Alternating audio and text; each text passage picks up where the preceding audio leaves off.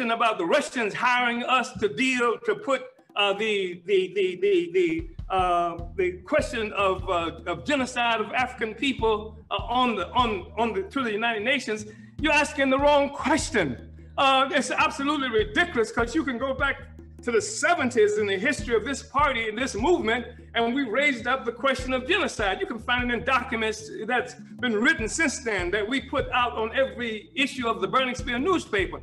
You can find evidence of the 1982 tribunal that we had on reparations for African people in Brooklyn, New York. And you will see that one of the laws that we used to base that tribunal on was the United Nations Convention on the Prevention and Punishment of the Crime of Genocide. So it's ridiculous. But the thing is, uh, to have this dishonest discourse uh, where somebody from the media would ask me uh, something about did the Russians ask us to say something about uh, genocide is to miss the question. The question is, is genocide being committed against black people according to the United Nations Convention? That's the question. Can you ask that question?